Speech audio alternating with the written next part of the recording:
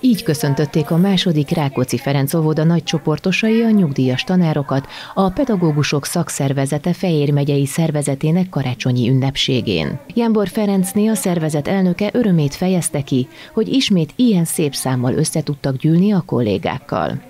Több mint 30 éve rendezzük meg a nyugdíjasoknak a, a karácsonyát. Az utóbbi két évben a pandémia miatt ugye ez elmaradt, de akkor is nagyon kreatív módon meg tudtuk a tagjainkat, nyugdíjas társainkat ajándékozni, és hát most nagyon örülünk, hogy sikerült végre ebbe az évbe újra együtt lenni, mert nagyon szeretnek találkozni a régi munkatársak egymással, és elbeszélgetni.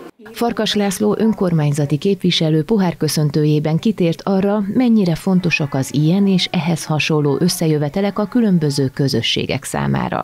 Nagyon sokat dolgoztak az emberek, nagyon sok gyermeket megtanítottak, megérdemlik az élettől, hogy még adódnak ilyen pillanatok, mikor legalább karácsonykor együtt tudnak lenni, és egy pohár pesgőt meg tudnak inni erre a szép ünnep alkalmából. A délután tehát meghitt hangulatban a karácsonyi készülődés jegyében telt, a nyugdíjas pedagógusok pedig ismét jól érezhették magukat egymás társaságában.